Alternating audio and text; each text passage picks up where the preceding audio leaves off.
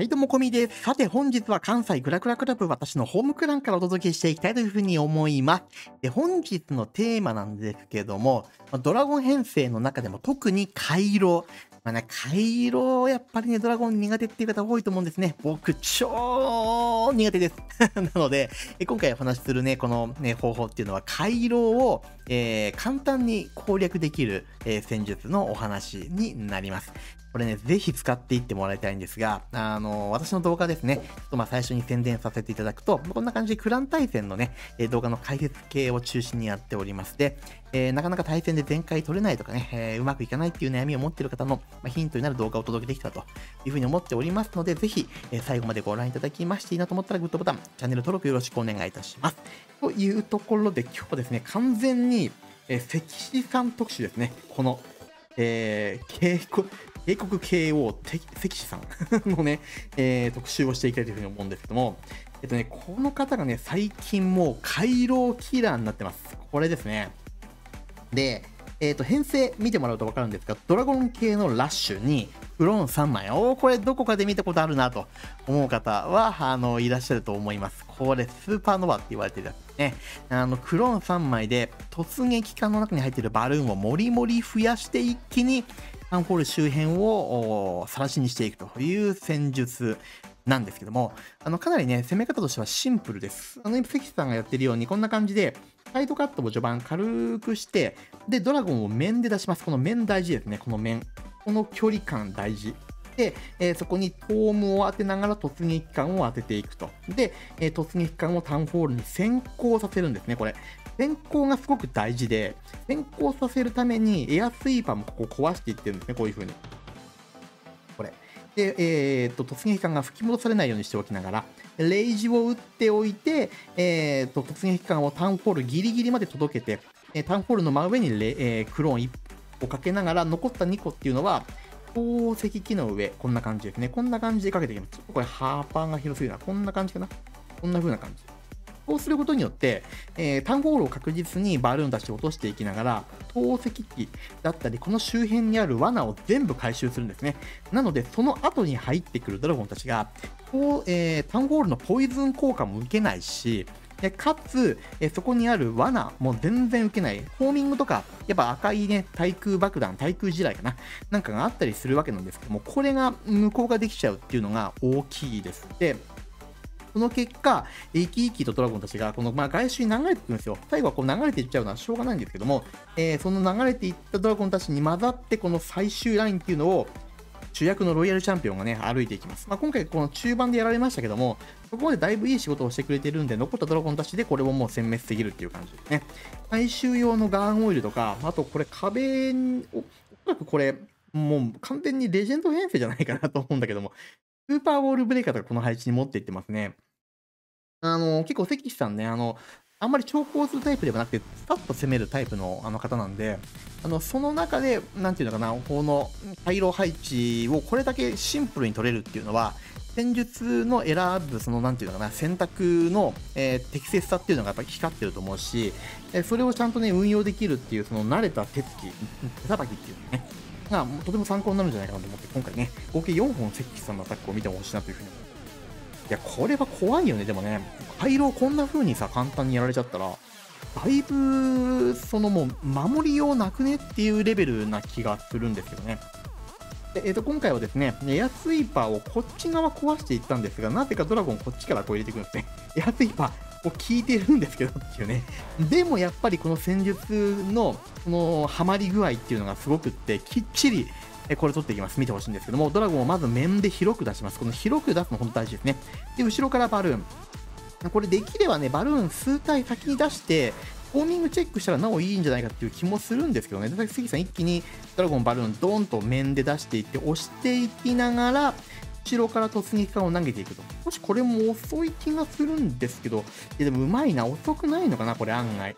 あのー、突撃艦だけ前に行き過ぎちゃうと、まあ、それはそれであんまり良くないし、あえて少し突撃艦をこれ遅らせた説もワンチャンありますね。で、えー、こんな感じですね。一気にバルーンを増やしていきながら、えー、投石機の方までこう狙っていく。で、今回エアスイーパーにだいぶね、あのバルーンが巻かれたんですけども、それでもしっかり投石機を折っていって、え中心部分、タウンホールも含めて壊していけるんですね。で、えホーミングとかそういった爆弾系も全部回収することができる。で、これね、ドラゴンを広く面で出す理由っていうのは、えー、っと、細く出しちゃうと、みんな一直線にタウンホール方面に向かってっちゃうんですよ。で、これって、ドラゴンのその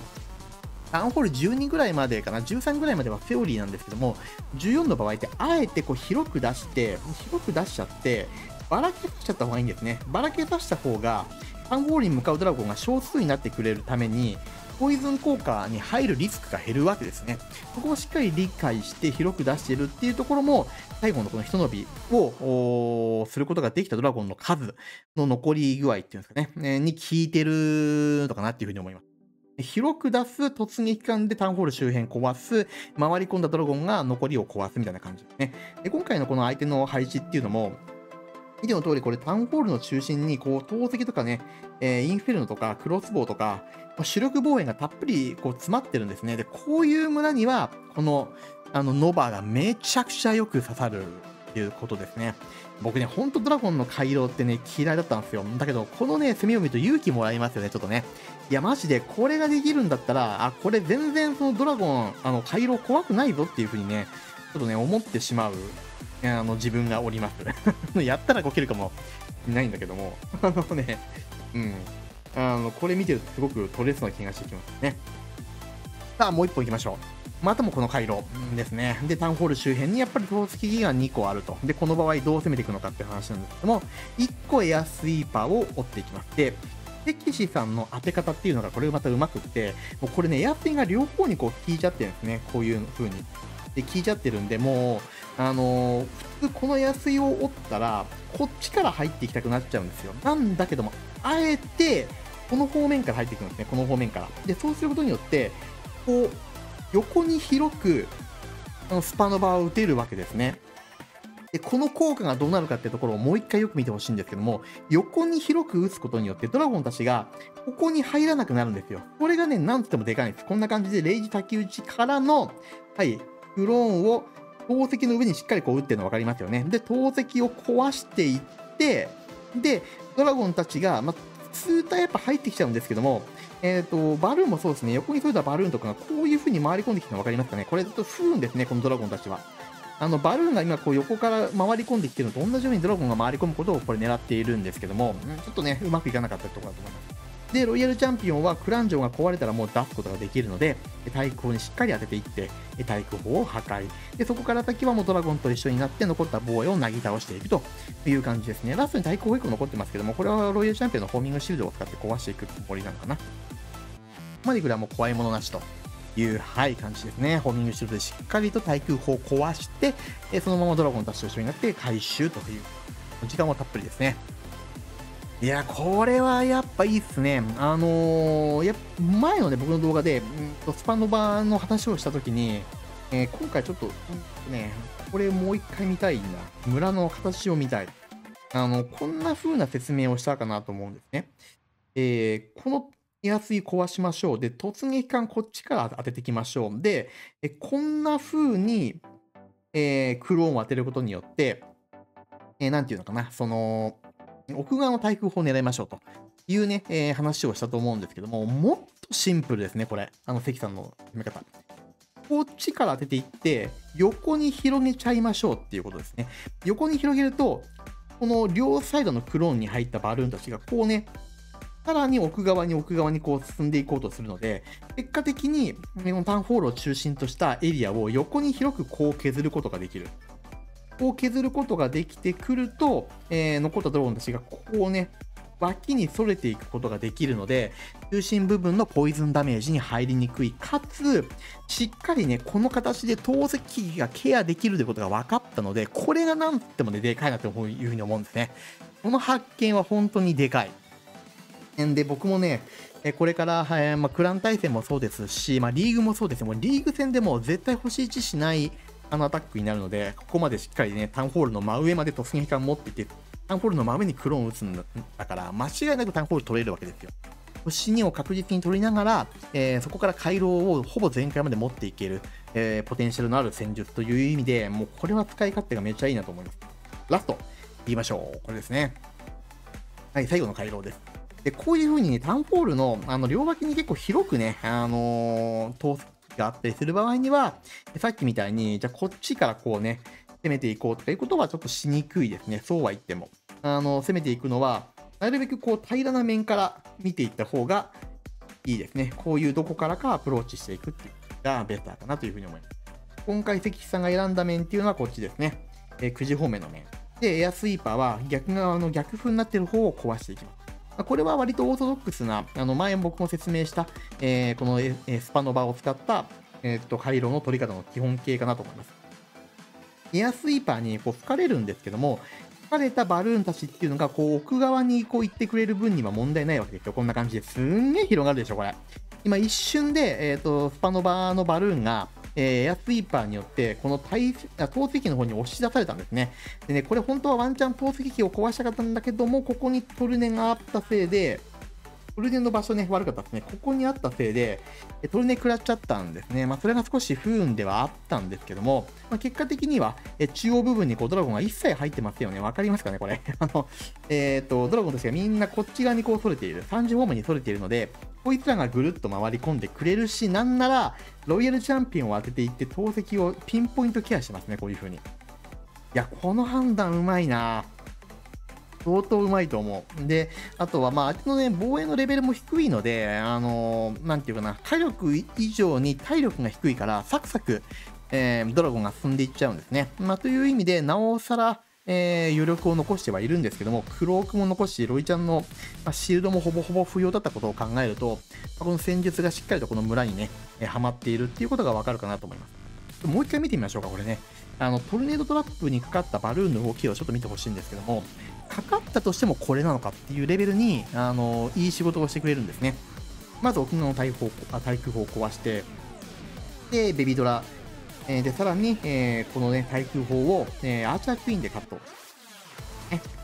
これ、ベビドラ2体もいらなかったのかもしれないですけどね、ババキンとアーチャークイーンで対空砲をカットしていきながら、うん、このカットも多分ユニットコスト的には少しもったいなかったはずなんですけどね。で、あえてこっちは残しておきますね。この対空砲を残しておくことに、あ、ごめんなさい。残すことによってユニットがこうね、逸れていくことを狙っているという。あえてここは壊さない。で、突撃艦は0時先打ちしっかり、えー突撃艦の動きを見計らってクローンを打っていくと。で、はい、これタウンホールの周りで回ってるんですけども、回りながらタウンホール落としちゃうんですね。全然怖くないです。あの、こんな風になっちゃうんで。タウンホールを壊せずに欲しいっていうリスクはほぼほぼないですね。